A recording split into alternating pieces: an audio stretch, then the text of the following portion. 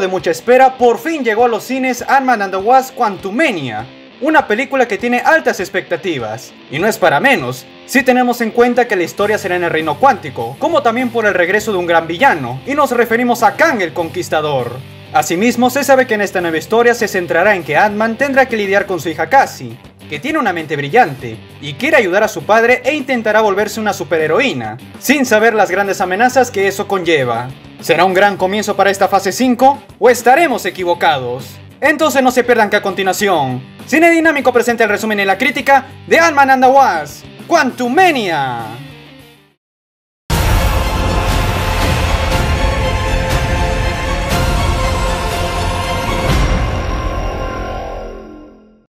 La película empieza con Janet Van Dyne en el reino cuántico y está contando su historia cuando cae una nave y salen varios xenomorfos.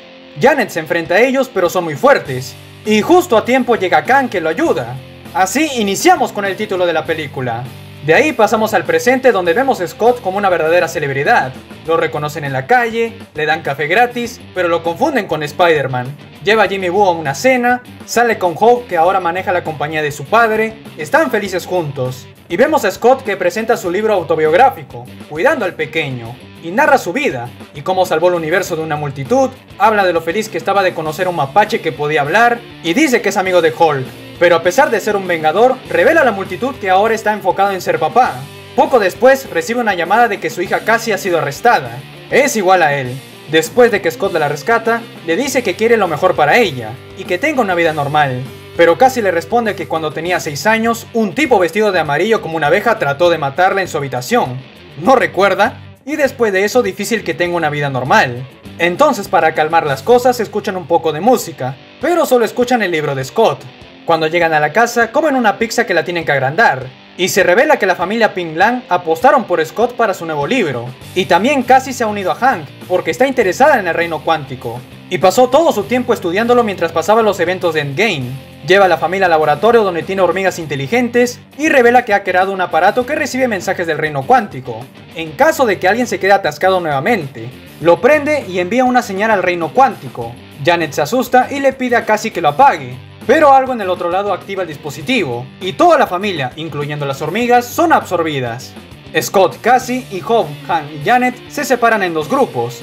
Scott intenta calmar a Cassie diciéndole que estar en el reino cuántico es como acampar, y se encuentran con algunas criaturas que residen en el reino cuántico, hasta que aparecen una alianza rebelde para ayudarlos. Se sorprenden de ver humanos aquí y los lleva a su pueblo. Les dan un líquido para que puedan entender su idioma, y cuentan que no son malos, vienen de la Tierra y deben encontrar a sus amigos. Pero cuando mencionan a Janet, los del pueblo se molestan porque por culpa de ella va a venir el conquistador. Mientras tanto, Hank, Janet y Hope pelean con algunos monstruos. Aunque terminan bien, incluso les dan ropa, y llegan a Axia surfeando en rayas gigantes. Cuando llegan al lugar, buscan a alguien y hablan con este cara de brócoli para que los lleve con un conocido. Todos van a una cantina bar, con un camarero parecido a un insecto, y encuentran a Krylar, interpretado por Bill Murray, y se sorprende de que Janet siga viva. También sabemos que eran amigos con beneficios durante su tiempo en el reino cuántico, y él todavía siente algo por ella. Total que luego Krylar los quiere llevar a la fuerza, y como la familia Pin Dyne pone resistencia, se arma la bronca. Y en medio de los disparos, la familia ve la nave de Krylar. Así que para llegar ahí, agrandan un animal y se lo avientan a Krylar y a su gente. Van rápido hacia la nave y logran escapar. Como todo el pueblo es un caos, Cassie saca su traje morado y pelea un rato. Scott lo ve y le enseña cómo debe pelear, pero como son demasiados mejor se van del lugar. Y de la nada llega alguien desconocido, y es Modok, que reconoce a Scott pero él no sabe quién es, y cuando abre su máscara es Darren Cross, el de la primera película de Ant-Man. Nos cuentan su historia cuando Scott destruyó el traje del Yellow Jacket, en realidad no murió, sus extremidades simplemente se encogieron y fue succionado en el reino cuántico, en esta forma desestructurada, y cuando iba a morir, fue salvado gracias a Kang, que lo ayudó en todo y por eso tenemos a este modo de este universo. Además que siempre quiso buscar venganza contra Scott, pero como él está aquí con su hija, los ataca y no solo para buscar venganza, sino que logra que vayan al mismo lugar donde está Kang el Conquistador. Casi está capturada y Scott escucha unos pasos que son de Kang. Le pregunta quién es y Scott le dice su nombre y que es un vengador, aunque Kang le pregunta si lo ha matado antes. Luego le pregunta si él es el que tiene el martillo y Scott dice que no, aunque siempre lo confunden con Thor. Kang le dice a Scott que puede escapar del reino cuántico y recuperar el tiempo que perdió, pero solo si Scott lo ayuda a cambio. Scott se niega al principio y Kang amenaza con matar a Cassie si no coopera. Scott acepta y le pregunta qué debe hacer. Kang dice que debe lanzarse ahí, ya que en ese aparato está la fuente de energía que él necesita. Antes de que se vaya, Cassie lo abraza, pero a su vez le da algunas partículas que lo va a necesitar, y Scott le promete que regresará. Se lanza y como ya está dentro del aparato, empieza a ver sus variantes aunque ninguno sobresale. Es más, empiezan a morir rápido y deben llegar donde está la fuente de energía. Todas las variantes de Ant-Man trata de subir, le avientan unas partículas para encoger la fuente de energía, pero no funciona, porque deben aventar muchas partículas. Y como no puede lograrlo, llega la nave con la familia hormiga. Hope lo trata de ayudar, también salen sus variantes y ayudan a Scott para que la fuente de energía sea pequeña. Janet admite que no ha sido completamente honesta con la familia, y revela que conoce a Kang y que pasaron mucho tiempo juntos en el reino cuántico, y empieza a recordar que cuando los dos estaban juntos, se unieron por el hecho de que ambos estaban atrapados allí. Kang tiene una nave que puede atravesar el multiverso pero se rompió y quedó atrapado en el reino cuántico. Janet lo estaba ayudando y le contó sobre su vida y cómo se quedó atrapada allí. Kang le prometió que si lograban arreglar la nave, él ayudaría a recuperar el tiempo que perdió con Hope, creando una línea de tiempo en la que sería como si Janet nunca se hubiera ido. Y cuando ya tenían la fuente de energía, Janet accedió a un dispositivo neuronal que conecta con la conciencia de Kang, con su nave y descubrió que viajó al reino cuántico para apoderarse del centro del tiempo. Ella lo confrontó por esto y Kang revela que le gusta conquistar. Entonces Janet roba la fuente de energía y lo hace gigante para que no lo vuelva a usar. Por eso Kang lo anda buscando, y Janet le dice que no puede confiar en él, pero Scott está dispuesto a cumplir su parte del trato si esto significa que recuperará a su hija Cassie. Hablando de ella, logra escapar, se enfrenta con Modok y cuando le gana le dice que deje de ser un tonto, porque es mejor ser un vengador. Estaba a punto de irse, pero como ve que la mayoría del pueblo está capturado, los libera. Solo que ahora capturaron a los padres. Janet discute con Kang por mentirle y que es un villano, que solo le gusta conquistar. Y a Kang le da igual, porque como tiene la fuente de energía, va a poder activar su máquina. Scott y Hope tratan de buscar la manera de salvar a Cassie, Janet y Hank, entonces van por ellos, destruyen las naves de Kang, hasta Ant-Man se hace grande, para buscar a Kang, y como no lo encuentra, destruye la máquina de los anillos para que no escape Kang. El pueblo de la rebelión sale y batallan contra los soldados de Kang, para que no logre su cometido. Mientras tanto Kang ve todo esto y destruye a todos.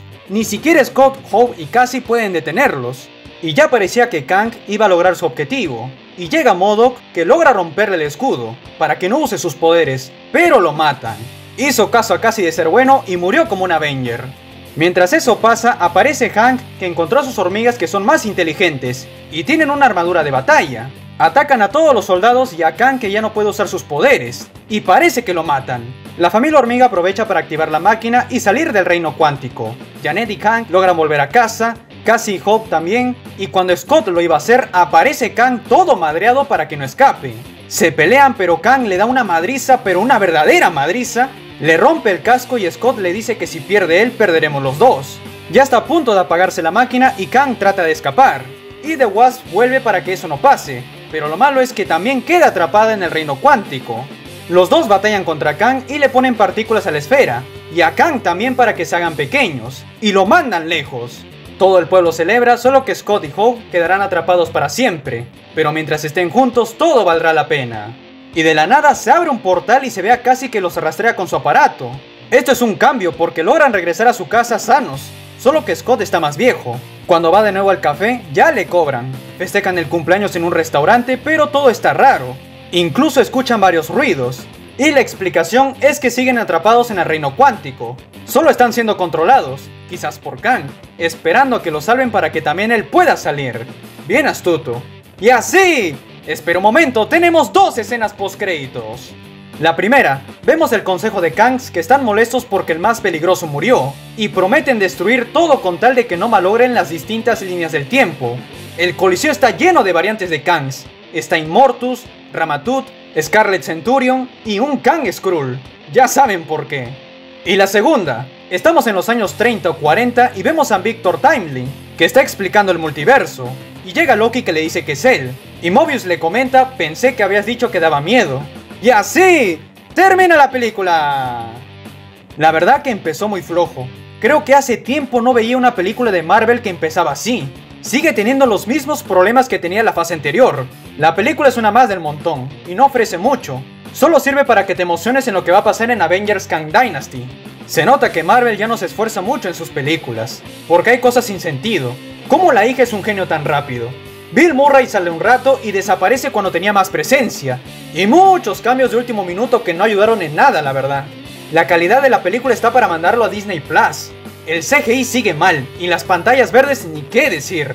Lo único bueno es el villano, que es Kang, las batallas y las escenas post-créditos. Pero si te das cuenta, últimamente esas tres cosas son lo único que tiene de bueno las películas de Marvel. No hay más. Una pena porque no se siente como una película de Ant-Man. Chistes malos, dos horas eternas, personajes secundarios que no aportan en nada. ¿Y dónde está Luis? Sin él, la película no tiene alma. Empezó mal la fase 5. Pero bueno, es mi opinión. Esta fue la crítica de Ant-Man and the Wasp Quantumania. Si te gustó, no olvides dar tu bonito like, suscribirte, darle a la campanita para ver más videos. Y si quieres opinar, puedes hacerlo en los comentarios. Gracias por ver este video y nos vemos en la próxima. Adiós.